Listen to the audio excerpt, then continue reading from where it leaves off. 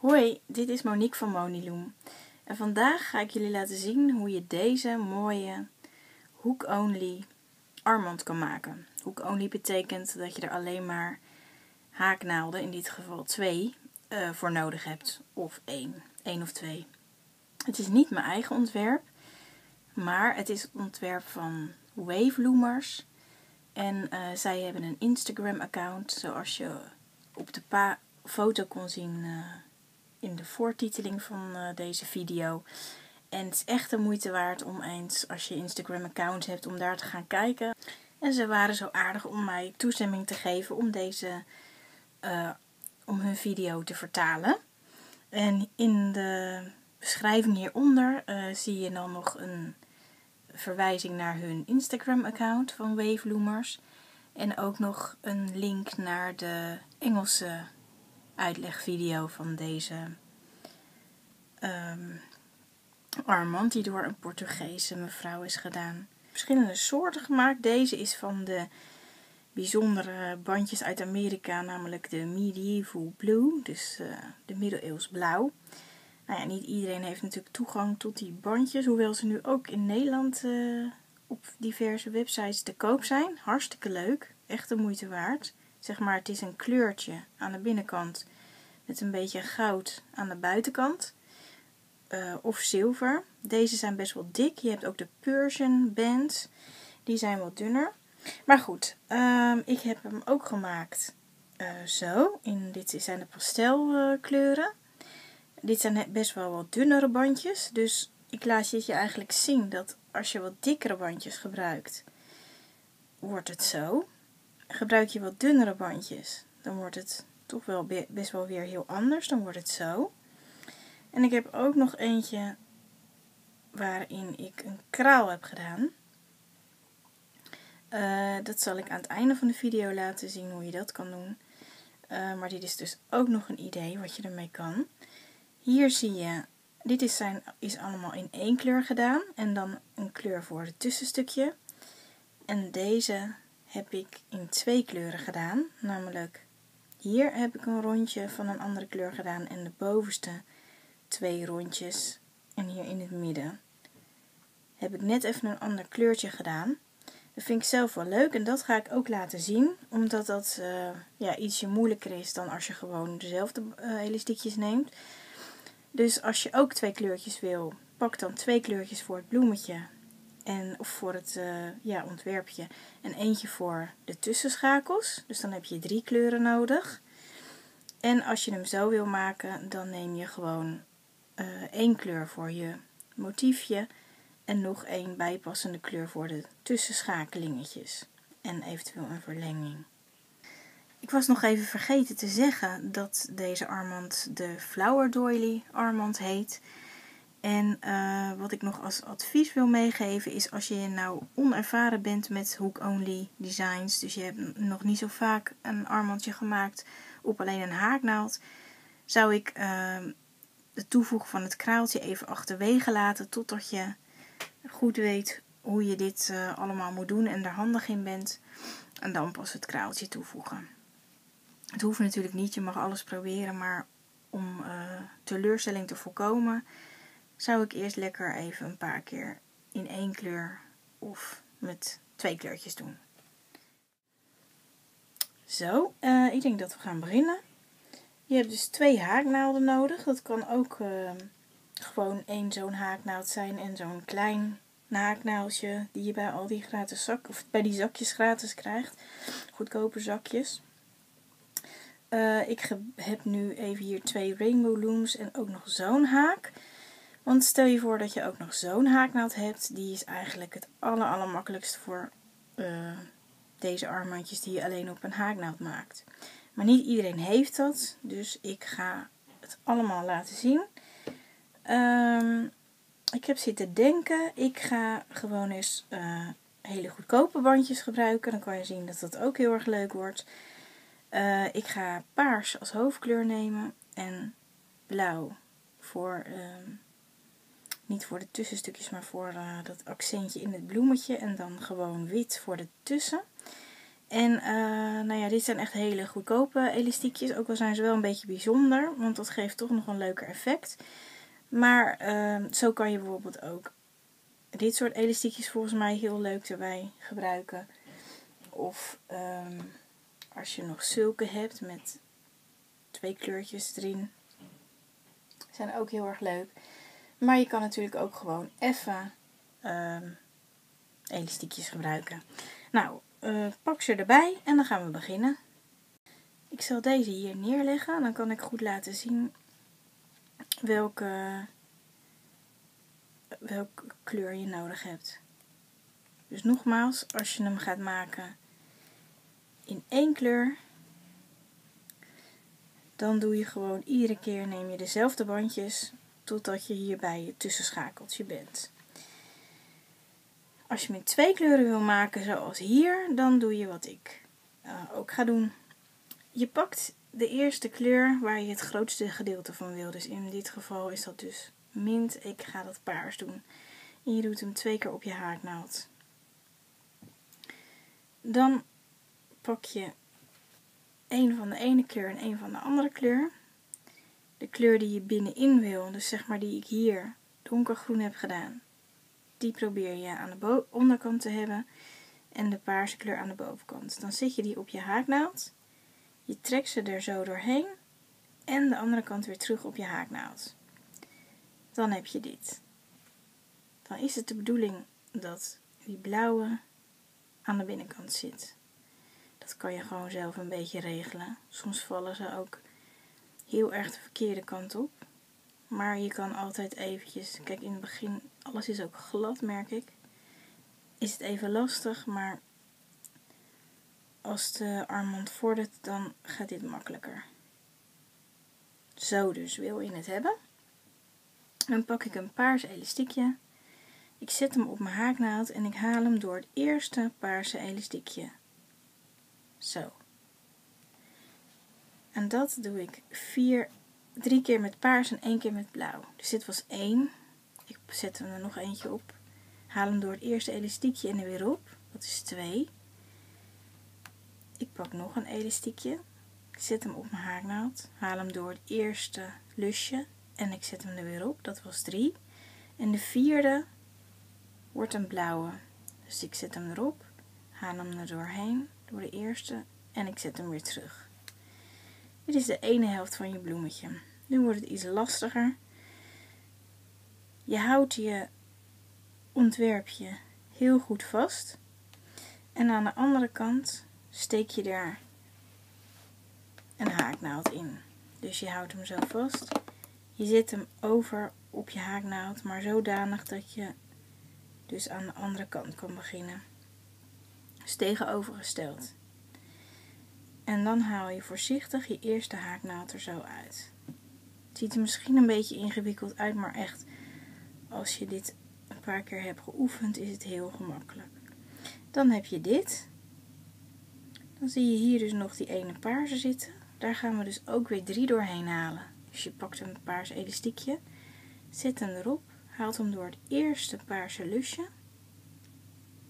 en ik zet hem weer op de haaknaald pak ik nog een elastiekje. Ik zet hem erop, haal hem weer door het eerste lusje van paars. Dit was de tweede. Ik neem de volgende, de derde. Ik zet hem erop, haal hem er doorheen en zet hem er weer op. En het vierde uh, elastiekje is blauw. Je zet hem erop, je haalt hem er doorheen en je zet hem er weer op. Nu heb je dus zoveel 12 lusjes op je haaknaald staan. Vandaar dat je kan begrijpen dat zo'n haaknaald makkelijker is. Maar ik laat het toch hierop zien, want hier kan het ook makkelijk op. Wilde je dus uh, alles in één kleur doen, zoals deze, dan hoef je deze dus, dan hoef je geen onderscheid te maken tussen paars en blauw. Dus dan neem je gewoon de hele tijd dezelfde kleur. Dan nu neem je een blauw elastiekje. Als je het met twee kleuren doet. Dus het kleurtje waarmee je het accent wil geven. Je zet hem op je haaknaald. En je haalt alle lusjes erover, zet je erop. Dus je haalt hem door alle lusjes heen. Of alle lusjes haal je. Zet je op dit elastiekje. Zo. En uiteinde weer terug op je haaknaald. En dan zie je al ontstaan. Dit is de kippunt. Dus die moet straks naar beneden. Het figuurtje. Dan neem je de kleur die je hier in het midden wil. Dus in mijn geval, hier was dat paars. Ik ging het met wit doen. En hier is dat zeg maar goud. Ik doe het met wit. En ik neem dus een wit elastiekje. Zet hem erop. En ik haal. Zo, daar komt mijn poes. Ik haal hem door deze twee lusjes die nog op mijn haaknaald zaten. En ik zet hem er weer op. En dan heb je je eerste figuurtje af. En zo ga je dus verder tot je de hele armband af hebt. We gaan er nog een doen. Voor ieder uh, zeg maar motiefje heb je dit dus eigenlijk nodig. 8 van deze kleur, 4 van die kleur. Als je het in één kleur doet, 12 dus van één kleur en een middenkleurtje. Nou, dan gaan we de volgende doen. Je neemt dus een paarse en een blauwe. De blauwe doe je onderop. Bovenop, sorry. Nou, het maakt ook eigenlijk niet zoveel uit. Volgens mij zei ik net onderop, maar het maakt niet zoveel uit. Je zet ze op je haaknaald. Je haalt hem door het witte elastiekje en weer op je haaknaald. Bovenop is beter, want nu zitten ze meteen goed. Heb ik het net even verkeerd gezegd. Dan pak ik weer een paars elastiekje. Ik zet hem op mijn haaknaald en haal hem door het eerste paarse lusje en er weer op. Pak mijn tweede elastiekje. Ik zet hem erop. Haal hem door het eerste lusje en de andere kant er weer op. Derde, ik zet hem erop. Haal hem door het eerste lusje en weer op mijn haaknaald. En de vierde is een blauwe. Dus ik neem een blauwe. Ik haal hem door het eerste lusje en ik zet hem er weer op. Nu komt het wat moeilijkere stukje, namelijk dat ik hem weer over ga zetten op een andere haaknaald. Ik hou alles goed vast. Kijk, nu zie je dat het alweer makkelijk... Oh, je ziet helemaal niks, want ik zit buiten de camera, sorry. Je ziet dat het alweer veel makkelijker is om het zo vast te houden nu je eenmaal één motiefje hebt. Je steekt je haaknaald er zo vanaf de andere kant in. Door alle lusjes. Kijk even of je ze echt allemaal hebt. En je trekt je andere haaknaald eruit. En dan heb je dit. Moeten we het motiefje nog aan de andere kant maken. Je neemt een paars elastiekje, zet hem erop, haalt hem door je eerste lusje en er weer op. Dat doe je nog een keer. Je zet hem op je haaknaald, haalt hem door het eerste paarse lusje en je zet hem er weer op. Dit was de tweede. Ik doe er nog één. De derde. En er weer op. Je hebt er dus zeven nodig, want deze was alleen voor de kippet. Uh, dan de vierde is de blauwe. Ik zet hem erop. Ik haal hem er doorheen. En ik zet hem er weer op. En nu heb ik 12 ringetjes op mijn haaknaald. En dan ga ik snel deze blauwe doorheen halen. Ik zet hem erop. En ik schuif alle ringetjes op mijn lusje.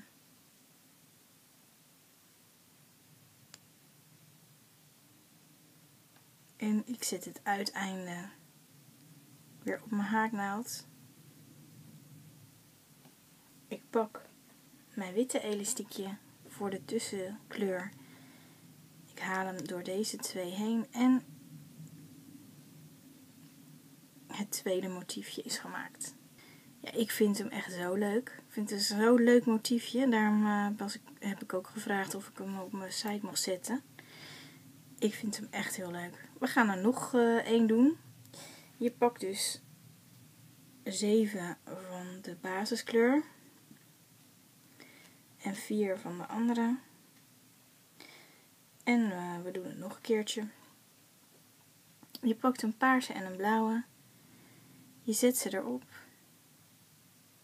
haalt ze door het witte heen en je zet ze erop. En de blauwe zit goed, want ik wil de blauwe in het midden hebben. Dan pak ik een paarse.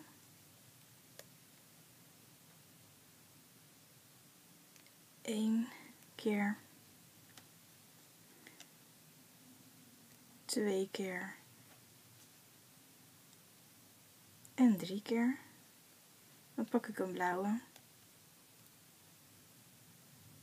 Vier. Dan gaan we weer omdraaien. Ik zal het nu eens met deze handige haaknaald doen. Dan kan je ook zien hoe dat gaat. Eerst doe ik dus mijn haaknaald er doorheen. Ik haal deze er voorzichtig tussenuit. En ik maak hem op de andere kant. Doe ik dus hetzelfde. Dus ik doe 1 2 en 3 en dan pak ik een blauw elastiekje. En dan doe ik 4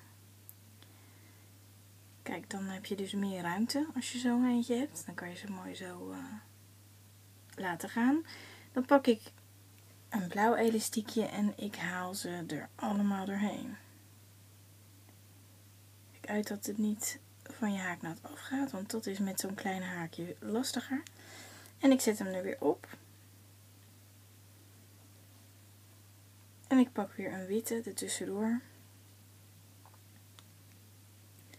En klaar is je derde motiefje. Het hoort allemaal zo uh, te springen. Het ligt wel een beetje aan hoe je je bandjes er weer op zet. Maar dat hoort eigenlijk bij het uh, model of bij het design dat het een beetje heen en weer gaat. Ik vind deze erg mooi zo worden. Ik zal ook nog even laten zien het voordeel van zo'n haak. Ik doe er nog één voor. Um, zal ik nog even het voordeel laten zien van als je zo'n haak hebt. Dus ik ga weer beginnen met van iedere kleur één. Ik haal ze er samen doorheen. Ik zet hem erop en ik zorg dat die blauwe in het midden zit. Zo. ik pak een paarse. Ik haal hem door het eerste paarse lusje en er weer op. En dat doe ik drie keer. Nog een keer, dat is de tweede. En ik pak er nog één. Dat is de derde. Dan pak ik een blauwe tot slot en dan heb ik het vier keer gedaan. Dan, normaal zouden we nu wisselen van haaknaald. Maar als je zo'n haaknaald hebt, kan je hem ook naar de andere kant schuiven. En dan je haaknaald omdraaien. En sommige haaknaalden hebben dan hier een haakje. Nou die, die heb ik nog niet gevonden en die heb ik ook niet. Maar ik kan het ook best zo. Dan leg ik hem altijd zo. Dan pak ik een elastiekje. Die hou ik met mijn vinger vast. Ik doe hem er overheen en terug. Pak een elastiekje, ik hou hem met mijn vinger vast. Ik doe deze er overheen en terug. Dat was de tweede. Ik pak een elastiekje, ik zet hem erop. Ik haal die er overheen en terug. En dan nog een blauwe. Ik pak een elastiekje, ik zet hem erop. Hou hem even vast. Eroverheen en terug. Dan heb je hetzelfde gedaan.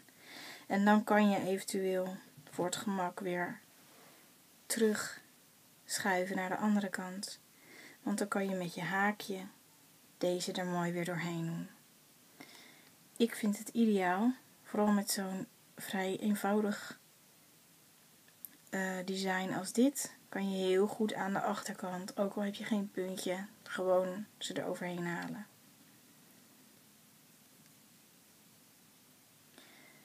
Hey, volgens mij heb ik hier een fout. Ik heb hier een fout gedaan, dus dat doe ik even overnieuw.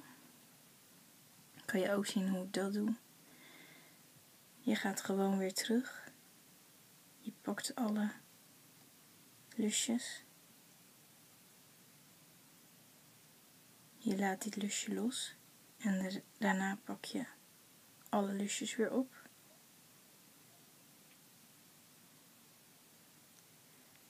Zo. En dan kan je zien dat wat hier is misgegaan. Ik weet het niet. Ik haal hem eraf. Ik doe hem opnieuw. En ik zet hem erop. Zo. Is die weer goed? Dan doe ik het nog een keer. En ik zet hem erop. Kijk, nu klopt die wel. En ik neem weer een witte.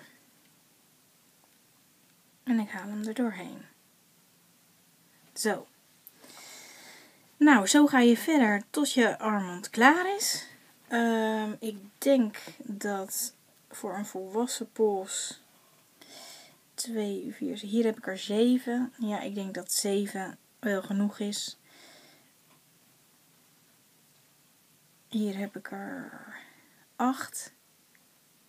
Maar ik heb best wel een brede pols. Dus ik denk 6 of 7. En dan kan je altijd een verbindingsstukje nog ertussen maken. Zoals hier, zeg maar. Gewoon met een uh, enkele. Uh, ik zal nu nog even laten zien hoe je een kraaltje hierin verwerkt.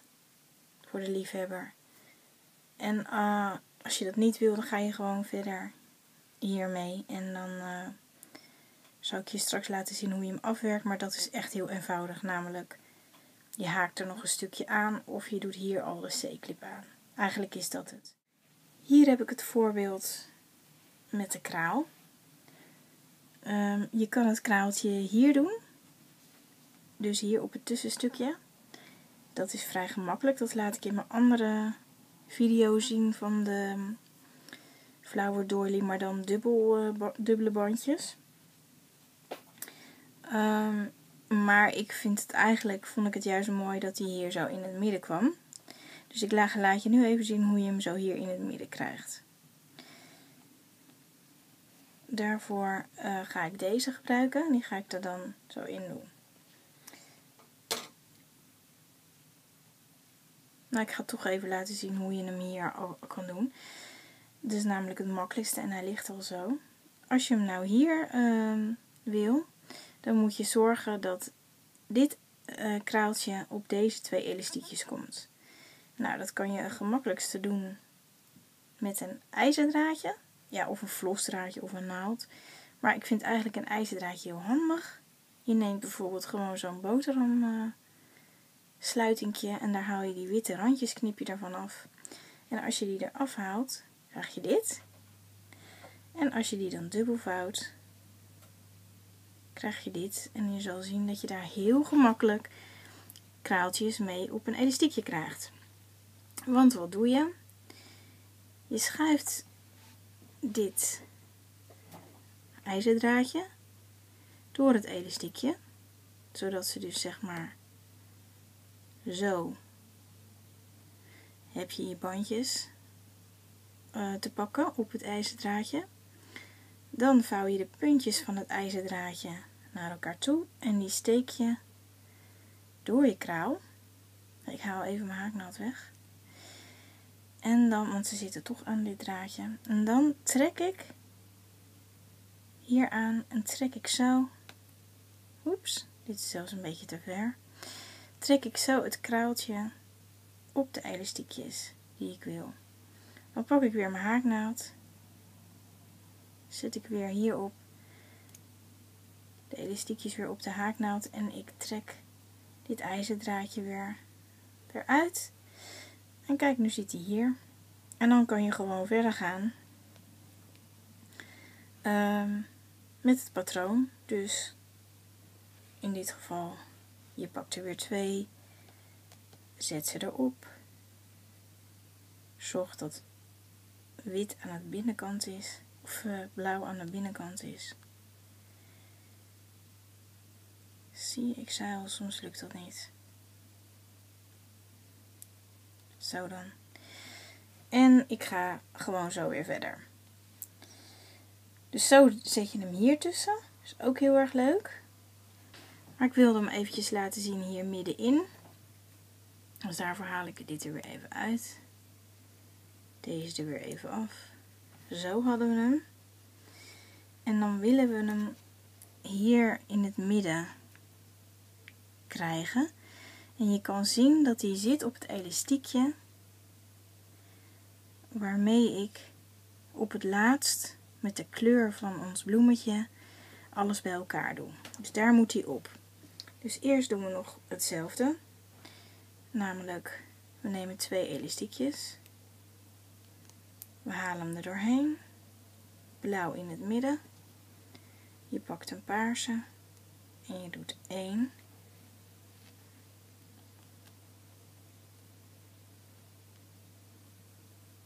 2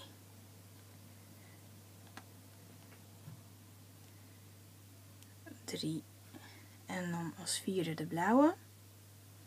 Je schuift hem naar de andere kant. Of je zorgt dat je een andere haaknaald erbij hebt. En daar doe je dan hetzelfde, namelijk 1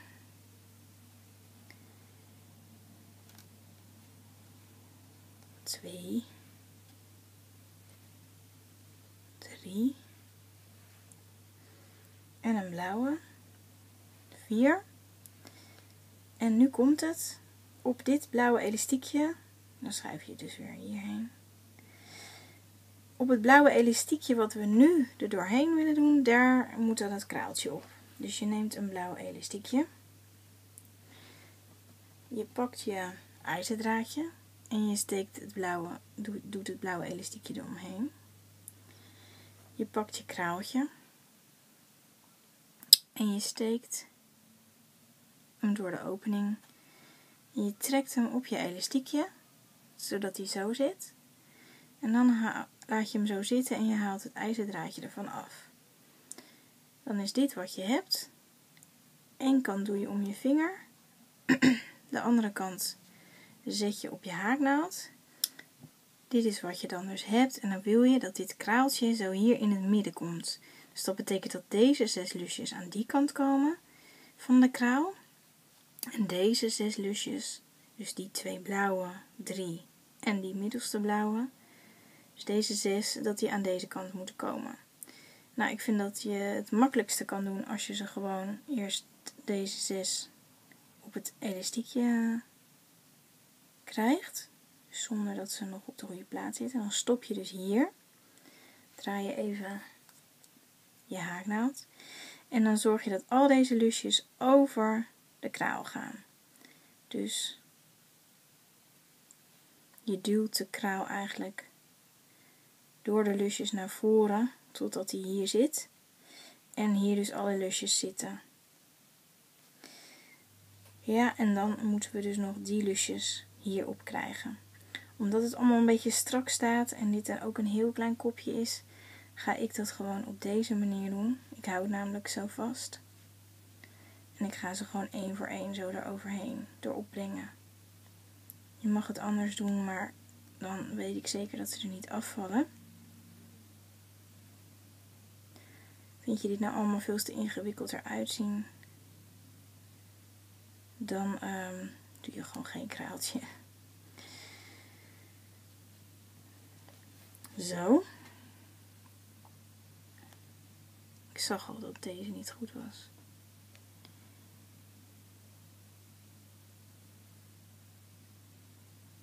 Zo, zo moest het zijn. Zo, en dan heb je een kraaltje in het midden.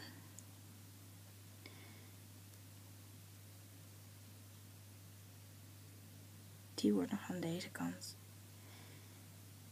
Oeps, die wordt hier helemaal niet. Het makkelijkste kan je meteen even een wit elastiekje nemen. Dan heb je iets meer ruimte. En dan kan je zien of je het goed hebt gedaan. Zo. Dit krijg je dan als je er een kraaltje in stopt. Ja, ik vind het zelf schattig. Maar het is wel uh, een priegelwerkje en het is iets moeilijker. Mm. Nou, um, ja, ik denk dat ik het hier even bij laat. Ik uh, maak hem even af met nog een paar van deze. En dan kom ik zo terug en dan laat ik zien uh, hoe je hem af kan maken. Zo, ondertussen ben ik klaar met mijn armband. Ik heb er acht gemaakt. Um, eens kijken hoe ver die komt. Bij mij sluit hij bijna. Ik vind het zelf altijd prettig om uh, een klein tussenstukje te maken. En omdat het ook makkelijk is om uit te leggen, ga ik dat bij deze ook doen. Het hoeft natuurlijk niet. Als die zo klaar is, kan je hier je C-clip of je S-clip opzetten.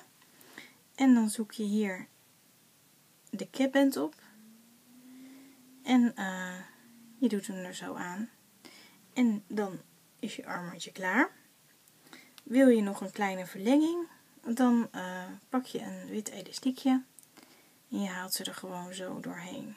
Zoals je eigenlijk altijd een verlenging maakt. Maar ik laat het toch nog maar even zien. Voor het geval jij dat nog niet hebt gedaan. Ik doe er een paar. Even kijken, even passen. Ja, dit is wel genoeg. En dan um, pak ik een sluitingje. En die zet ik er zo op. De ene kant.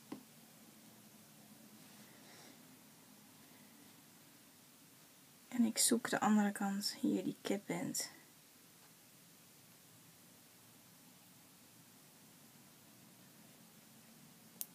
Die had ik dus eigenlijk ook wit kunnen maken, maar goed.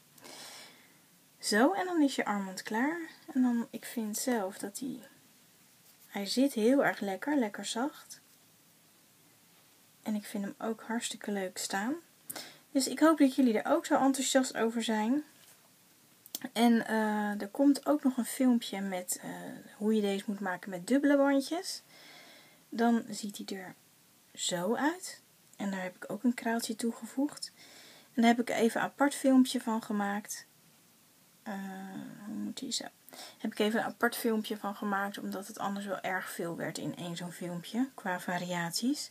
Maar als je denkt, hé, hey, dit is ook leuk, kijk dan even naar mijn andere uh, filmpje en die heet Flower Doily Double Banded. Dubbele bandjes. Uh, bedankt voor het kijken en uh, ik hoop dat je het leuk vindt en tot ziens. Dag!